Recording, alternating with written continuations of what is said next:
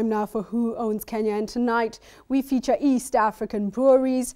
The company was founded in 1922 by two brothers, George and Charles Hurst. The then Kenya breweries would however suffer a big blow when the eldest of the two brothers, Captain George Hurst, was killed by a rampaging elephant in 1923. Ironically, the company's most famous beer, Tusker Lager, derives its name from the incident that saw the company change the name of its premier beer from Kenya Lager to Tusker.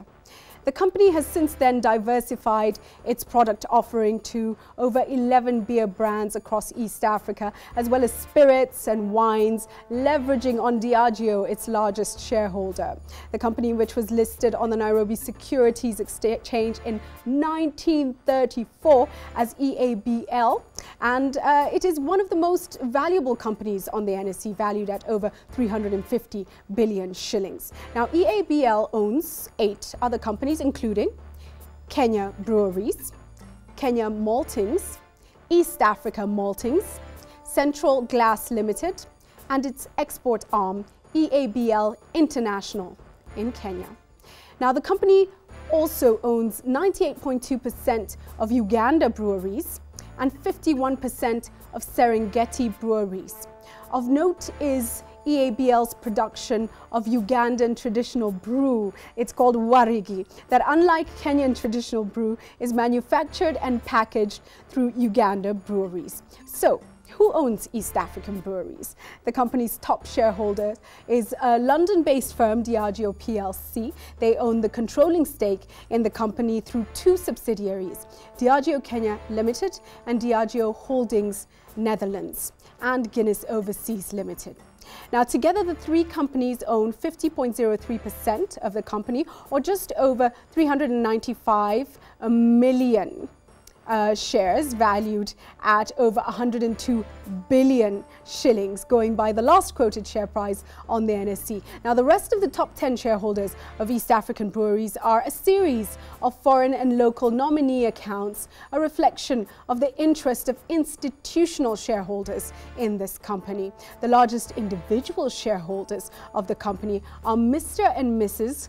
Karsandas Babla, who holds 0.78% of the company, translating to 6.18 uh, million shares valued at about 1.6 billion shillings. Another top shareholder is Jeremiah Kiereini, who is a former chairman of the company. He holds 0.18% of the company, valued at close to 1.45 billion shillings. Now, according to uh, the company, individual Kenyan shareholders own 12.19% of the company, valued at 24.9 billion shillings, while local companies own 13.9% of the company, valued at 28.5 billion shillings shareholders, Diageo Kenya Limited, 42.82 uh, percent valued at 87.7 billion shillings. Diageo Netherlands um, as well uh, hold uh, there we have it, 4.55% uh, valued at 9.3 billion shillings. Um, Guinness Overseas Limited, 2.61% valued at 5.3 billion shillings. As we mentioned, Mr. and Mrs. Karsandas Babla, 0.78% valued at 1.6 billion shillings. Next on our list is Jeremiah Kiereini, 0.18% 1.45 billion is what that is valued at, as we mentioned earlier. Kenyan companies, 13.9% uh, as we mentioned, 28.5 billion shillings. Local individual shareholders, 12.19%, 24.9 billion shillings. Just the graphics there for you. And that gives you an idea of the shareholding structure of East African Breweries Limited. Let's take a look now at our quote of the week.